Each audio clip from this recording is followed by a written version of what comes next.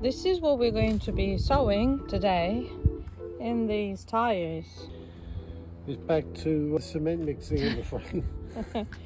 We're mixing this cement with some sand from Yeah. over there. We've got a couple of uh, buckets of uh, manure, which I've already put one in, and a bit of other earth that we had. These tyres were just a couple of tyres we've got laying about, and uh, now we're, we're listening to planes. And now what we're going to do is we're going to put uh, some mixture in here. We're going to mix a bit of sand, a bit of uh, this miracle grow, whatever it is. So we don't actually know what this Miracle-Gro is like. So here we go. No, it's another airplane. Yeah, popular once we start videoing, we get all the planes. There's somebody in the control tower, they go, right, so videoing. This miracle grow is, is, is actually, We don't need to mix it with anything, do we? well, Just to bulk it up, maybe. yeah, maybe. So we don't use the whole bag on the- just the, the this, which I call mooli, but these are seeds that I bought in Bulgaria last year, and this is what it's it goes by in there, daikon, radish, and it's a long radish, so it needs to have the depth in the soil, and it needs to be an easy soil to grow into like much like with the carrots so maybe we do need to add a bit of sand to it We're going to use the whole bag and all this stuff. But, you know, it's an experiment. we have never grown anything in tires No? and we have never grown daikon radish or mooli either here goes the sand one of the last buckets of manure Well, at the back of the package it says a popular radish variety. It forms large, long, 45 centimeters roots with a juicy inner part and mild taste.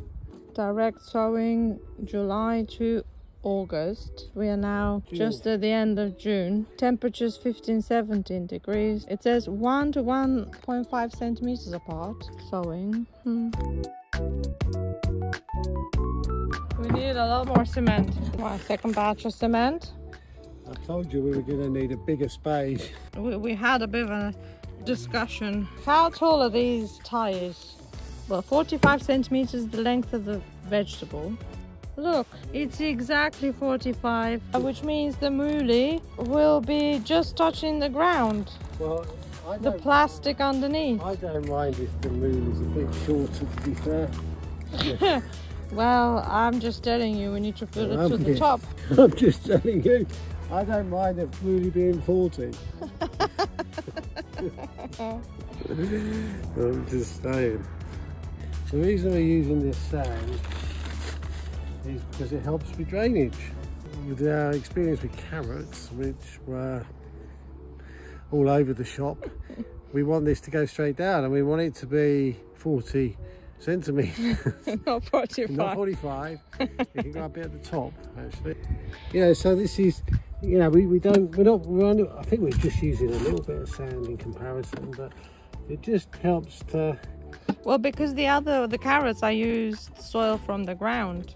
This is compost. yeah It's already very crumbly and easy to grow through things just put a bit of compost in it from, from before. and, uh, It's a lot of soil, those two tires. well how many are we going to grow in here Let's say one to two centimeters apart, we can grow quite a few.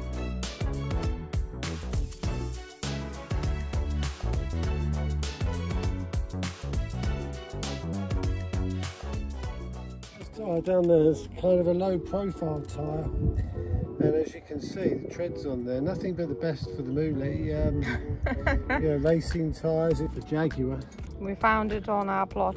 people don't want. They look for entrepreneurial types to find some use for these things. And we had like six tyres and we just didn't know what we were going to do with them. We had ideas. In the end, we just we, we thought, oh, that's it. We use it in the cage.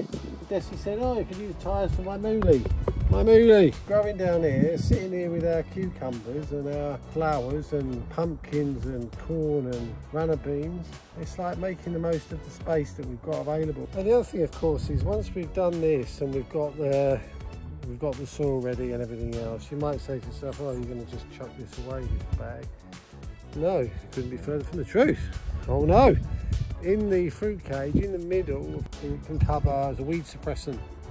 And then we're going to put wood chip on top of it. So it's going to be a sort of self-maintaining uh, place, not with where things are growing where they're supposed to grow and not anywhere else.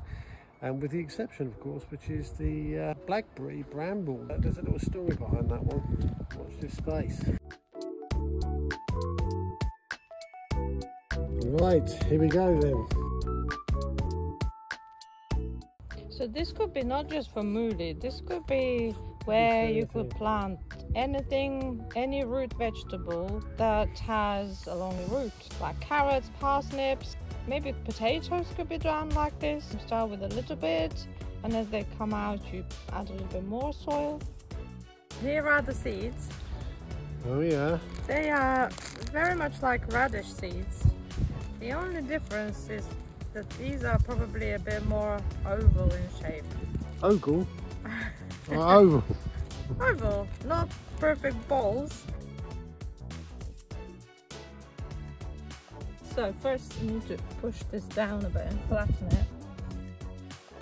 And now I will be able to clearly see where I'm putting the seeds. If I imagine the amuli is like that, put them like three centimeters yeah. away.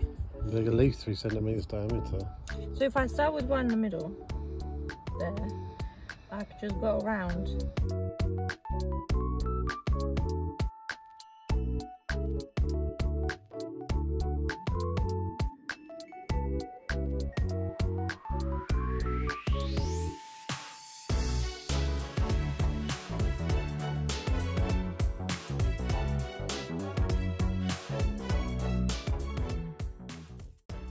Just gently and lightly. There's this rule of thumb, how big the seeds are, that's how deep they go. How, how big the seed is, that's how much on top the layer of covering. Thank you for watching all the way to this point. Uh, it's now six days since we sowed the mooli and I will show you in a minute what it looks like because it's grown really well. But before that, just a quick reminder, if you find this video useful, if you like it, do please hit the, the like button and subscribe to the channel so you can see more videos like that. If you hit the bell button as well, YouTube will notify you when we've uploaded the next one. We tend to make them funny and entertaining. I hope we've achieved achieve that. But for now, let's go have a look at what the mooli is doing. Well, the mooli is looking great. It's doing very well. Most of the seeds have germinated and grown. At this point, it doesn't look much different than a normal radish, but that's okay because it's in the same family. Uh, I can just see one little seed there that's maybe a little bit slower than the rest, but they've done really well and I'm having a very good feeling about this crop. I'll keep you updated. So subscribe to the channel to be able to see what comes next. Bye for now and thank you for watching all the way to the end.